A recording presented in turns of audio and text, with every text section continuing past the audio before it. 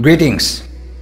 First of all, thanks to my brother in law, Sisi Baruah, his wife, Chitralekha Baruah, and Mr. Artak Baruah and Ajit Talukdar for recording this. I want to tell you briefly about a true story, my story. It was published as a book in America titled One Long Journey. One Long Journey. It is a memoir. It is an orphan story that becomes an immigrant story ending with a personal triumph. It is a story of survival, a story of hope in the face of adversity. All proceeds from this book go for orphan welfare. The book is also available from Amazon worldwide. With that, I'll give you a summary of the story. I hope you like it. The book has received good editorial review comments as well as readers' review comments. So, let me begin the story.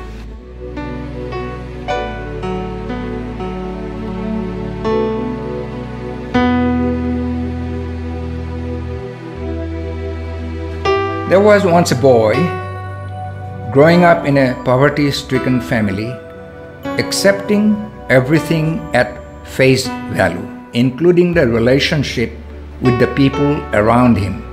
He had no clue that he was an orphan, that his biological parents had committed suicide by jumping from a small canoe in a mighty river called the Brahmaputra after drowning the older siblings.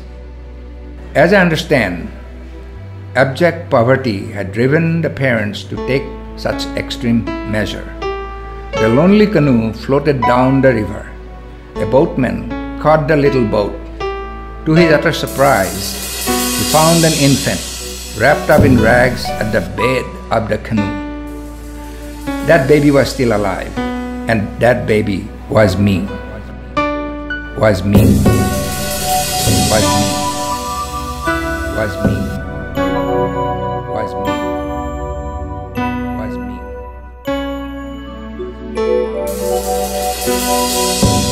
I am named after that river, Lohit, alias the Brahmaputra. I was raised by my poor maternal grandparents. They were and still are my parents. The biological parents had nothing to do with my survival and growing up. I grew up calling my grandparents I, meaning mother, and Baba, meaning father, and my uncles as my brothers. I grew up in a house with a leaky thatch roof, full of people, and witnessing ugliness of poverty. I grew up through myriads of sickness, witnessing death after death. I saw beggars and lepers coming to our door for a little almsgiving, but saw how mother never turned anyone away in spite of our own hardship. I had witnessed firsthand discrimination based on caste, color of skin, type of job one did, clothes he wore, untouchability, and women working like slaves with no voice. But who was I to question when adults accepted everything as normal in that societal environment? I was just a boy. Questioning elders would have been a sign of disobedience.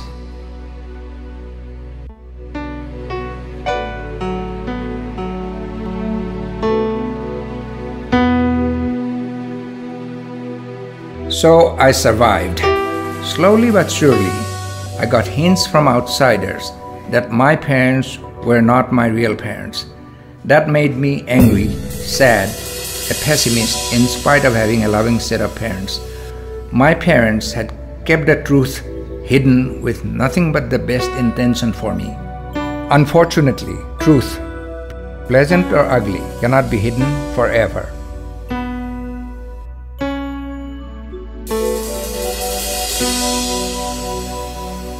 The society was making me weak. I had to get out of my little place. I had to get stronger. Along the way, unknowingly, I fell in love with a girl.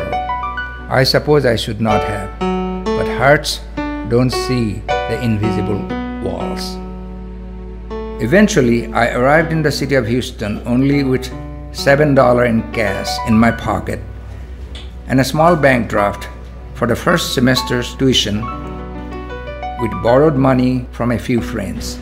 I could not get a bank loan because I had no collateral to offer. In a strange land, I knew no Indian or Assamese person to lean on. Strange white men become friends, mentors, brothers, and sisters. So I received helping hands from strangers. But adversity and death followed me here too.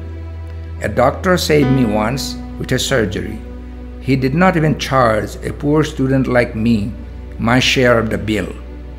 I got married not to my love, but to a stranger, because caste was a barrier that did not want to break.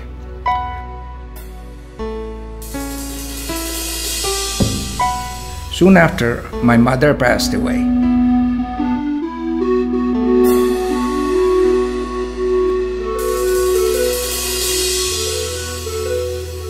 The message came as a telegram with a very few words. A poor student like me had no money to go back.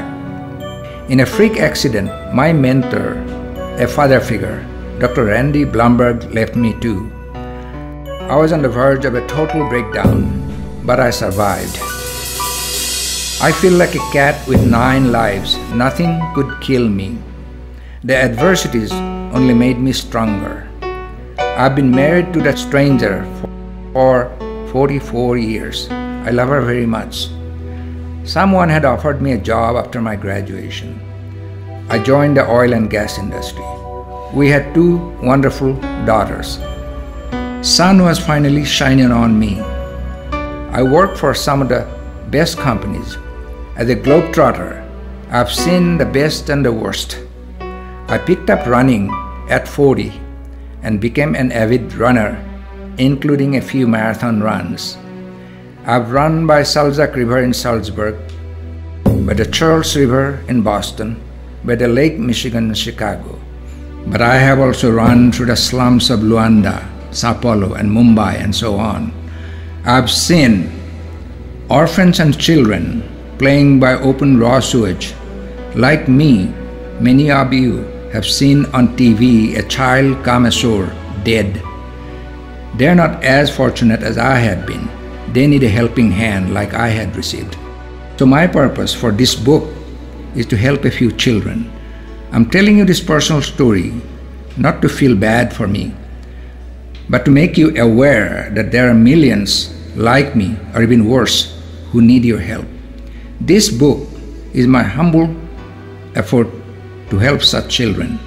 I pray that you would buy it, that you would tell about it to the world you know, urging them to buy to help the helpless little people. Thank you.